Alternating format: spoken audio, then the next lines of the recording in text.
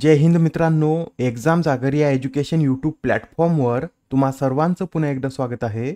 मित्रांनो या आधीच्या सत्रामध्ये तुमच्यासाठीचा प्रश्न होता कनिष्ठ बुद्धिबळ चॅम्पियनशिप दोन हजार चोवीसचं विजेतेपद पटकावणाऱ्या दिव्या देशमुख या महाराष्ट्रातील कोणत्या जिल्ह्याच्या रहिवासी आहेत?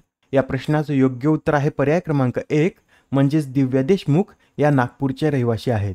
व तसेच कनिष्ठ बुद्धिबळ चॅम्पियनशिपचं विजेतेपद पटकावणाऱ्या त्या चौथ्या भारतीय महिला ठरलेल्या आहेत.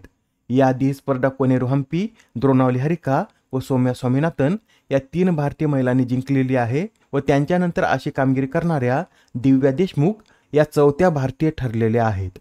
आजच्या सत्राचा पहिला प्रश्न पहा. नुकत्याच प्रकाशित करण्यात आलेल्या ग्लोबल पीस इंडेक्स दोन हजार चोवीसमध्ये भारताने कितवे स्थान पटकावले? तर आता या ग्लोबल पीस इंडेक्समध्ये एकूण एकशे त्रेसष्ट देशांच्या यादीत भारताने एकशे सोळावे स्थान पटकावलेलं आहे.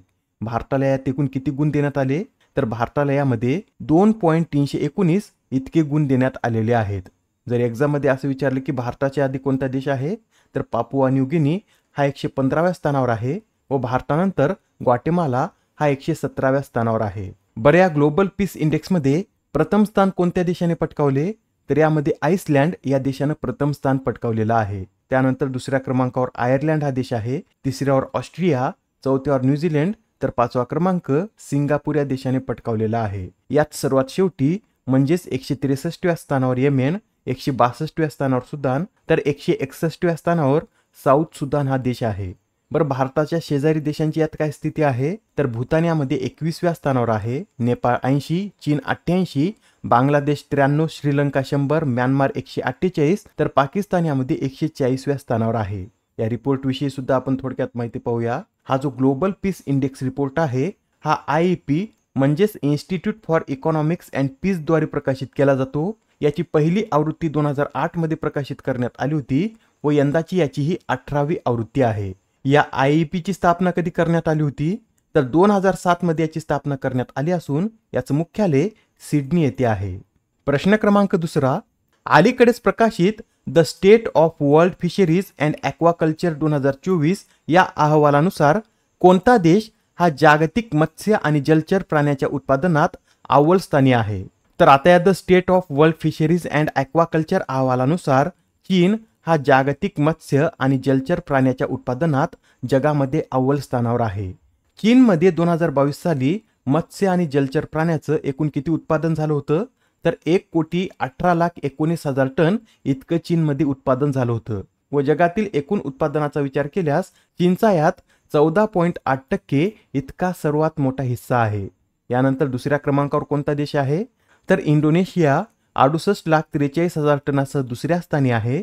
पेरू हा देश तिसऱ्यावर रशिया चौथ्या क्रमांकावर अमेरिका पाचव्या तर आपला भारत यामध्ये सहाव्या स्थानावर आहे. भारतामध्ये दोन हजार बावीस या साली मत्स्य आणि जलचर प्राण्याचं एकूण उत्पादन हे पस्तीस लाख सत्त्याण्णव हजार टन इतकं झालं होतं.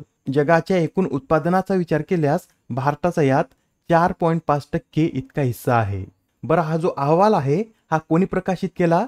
तर हा अहवाल अन्न आणि कृषी संघटनेने प्रकाशित केलेला आहे. यामध्ये इतर माहितीमध्ये सुद्धा नोट करून घ्या. जागतिक मत्स्य आणि जलचर उत्पादन दोन हजार बावीसमध्ये एक हजार आठशे पन्नास लाख टनावर पोहोचले आहे. दोन हजार वीसच्या तुलनेत दोन हजार बावीसच्या जागतिक उत्पादनात चार टक्क्यांनी वाढ झाली आहे. एकूण उत्पादनापैकी सुमारे एकावन्न टक्के म्हणजेच नऊशे चाळीस लाख टन उत्पादन मत्स्य आणि जलचर शेतीतून मिळाले आहे. तर समुद्र आणि नैसर्गिक पाण्याच्या प्रवाहातील मासेमारीचा वाटा हा एकोणपन्नास टक्क्यावर गेला आहे. आणि मित्रांनो आता प्रथमच पारंपरिक मासेमारीच्या उत्पादनात घटवून मत्स्य आणि जलचर शेतीतून मिळालेले उत्पादन हे पारंपरिक उत्पादनापेक्षा अधिक ठरलं आहे.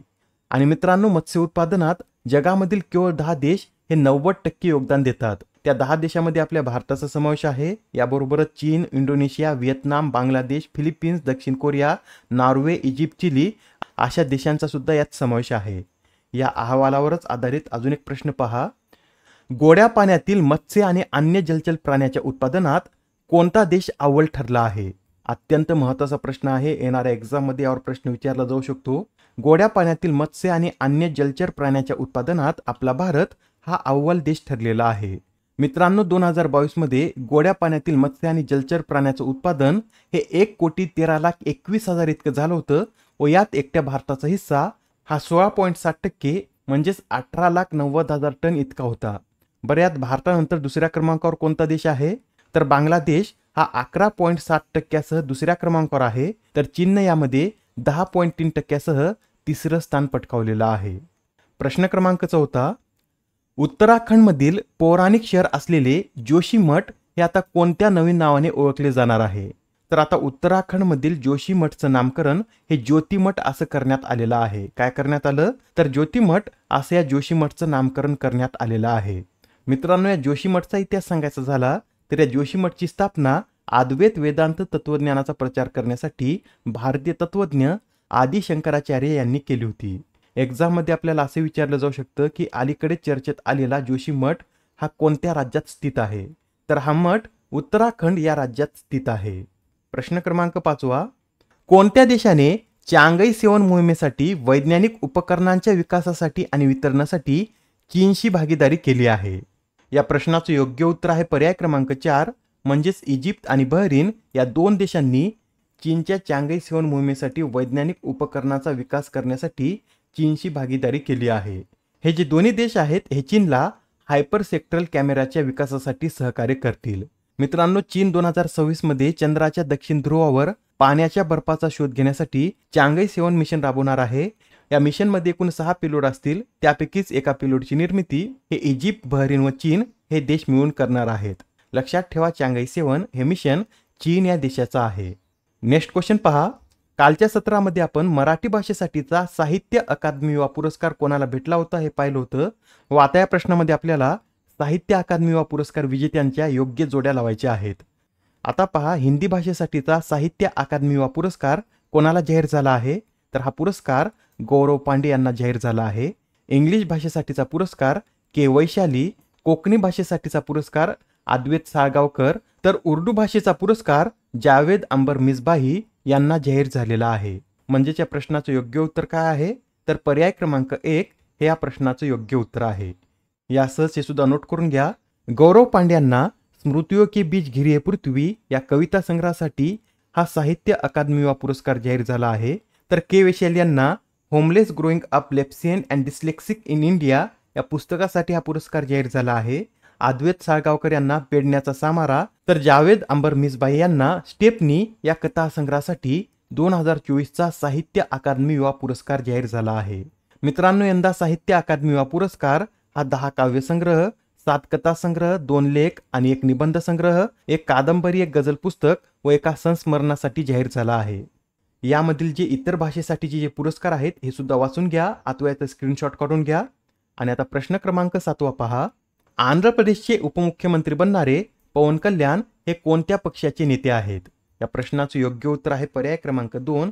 म्हणजेच पवन कल्याण हे जनसेना पार्टीचे नेते आहेत. मित्रांनो सध्या पवन कल्याण हे खूप चर्चेमध्ये आहेत. त्यासाठी त्यांच्या संबंधित काही बाबी आपल्याला माहीत असणं आवश्यक आहे.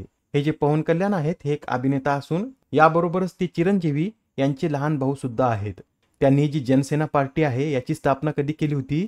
तर दोन हजार चौदा मध्ये पवन कल्याण यांनी जनसेना पार्टीची स्थापना केली होती. याआधी ते दोन हजार आठ ते दोन हजार अकरा मध्ये प्रजा राज्यम पार्टीमध्ये होते. ते एक अभिनेता असल्यामुळे त्यांच्याविषयी हे सुद्धा विचारलं जाऊ शकतं की त्यांनी कोणत्या चित्रपटामधून अभिनय क्षेत्रात पदार्पण केलं होतं? तर एकोणीसशे शहाण्णवमध्ये अकडा अम्मी इकाडा अब्बाय या चित्रपटामधून त्यांनी अभिनय क्षेत्रात पदार्पण केलं होतं. व आपल्या अभिनयाच्या जोरावर त्यांनी बऱ्याच वेळा फोर्ब्स इंडिया हंड्रेड सेलिब्रिटींच्या यादीत देखील स्थान पटकावलेलं आहे. प्रश्न क्रमांक आठवा. अलीकडेच प्रकाशित I have the streets a kutti cricket story हे कोणत्या भारतीय क्रिकेटपटूचे आत्मचरित्र आहे? अत्यंत महत्वाचं पुस्तक आहे कारण हे जे आत्मचरित्र आहे हे आर अश्विन यांचं आहे. आणि हे जे पुस्तक आहे हे कोणी लिहिलं आहे? तर आर अश्विन आणि सिद्धार्थ मोंगा यांनी मिळून या पुस्तकाचं लिखाण केलं आहे. मित्रांनो येणाऱ्या एक्झाममध्ये शंभर टक्के या पुस्तकावर प्रश्न विचारण्यात येईल. तर लक्षात ठेवा I have the street a kutti cricket story हे आत्मचरित्र आर अश्विन यांचं असून याचं लिखाण आर अश्विन आणि सिद्धार्थ मोंगा यांनी केलं आहे. याआधी सुद्धा काही महत्वाची पुस्तके प्रकाशित झाली आहेत ती सुद्धा आपण एकदा रिवाईज करून घेऊया. पहा मणिशंकर आयर यांचं द राजीव आय न्यू हे पुस्तक प्रकाशित झालं आहे. बिल गेट्स यांचं एक पुस्तक दोन हजार पंचवीसमध्ये प्रकाशित होणार आहे व त्याचं नाव काय आहे? तर सोर्स कोड माय बिगिनिंग्स असं त्याचं नाव आहे. एन वाटसन यांचं याआधी द विनर्स माइंडसेट हे पुस्तक प्रकाशित झालं आहे. डी सुब्बाराव यांचं just a mercenary Vijayadevi Rane maker of modern Goa Sam Pitroda the idea of democracy Raman Mittal व doctor Seema Singh the law and spirituality Lakshmi Murdeshwar Puri swallowing the sun S Jaishankar why Bharat matters M J Akbar व केनाटोर सिंग यांचं Gandhi a life in three campaigns हे पुस्तक प्रकाशित झालेलं आहे. प्रश्न क्रमांक नववा कोणत्या कंपनीने जागतिक ॲथलेटिक्स चॅम्पियनशिपसाठी पाच वर्षाच्या जागतिक होस्ट ब्रॉडकास्ट सेवा करारावर स्वाक्षरी केली आहे? या प्रश्नाचं योग्य उत्तर आहे पर्याय क्रमांक दोन म्हणजेच टाटा कॉमने जागतिक ॲथलेटिक्स चॅम्पियनशिपसाठी पाच वर्षाच्या जागतिक होस्ट ब्रॉडकास्ट सेवा करारावर स्वाक्षरी केली आहे. आजच्या सत्रामधील शेवटचा प्रश्न पहा. दरवर्षी जागतिक वाळवंटीकरण व दुष्काळ विरोधी दिन कधी साजरा केला जातो? तर हा जो जागतिक वाळवंटीकरण व दुष्काळ विरोधी दिन आहे हा दरवर्षी सतरा जून रोजी साजरा केला जातो. बरं यंदाची या दिवसाची थीम काय आहे? तर united for land our legacy our future अशी या वेळची या दिवसाची थीम आहे. आजच्या सत्रामधील तुमच्यासाठीचा प्रश्न पहा. F I H hockey men's junior world cup दोन हजार पंचवीसचं आयोजन कोणत्या देशात करण्यात येणार आहे? आता या प्रश्नाचं उत्तर कमेंटमध्ये देण्याचा प्रयत्न करा. उत्तर चुकलं तरी काय हरकत नाही.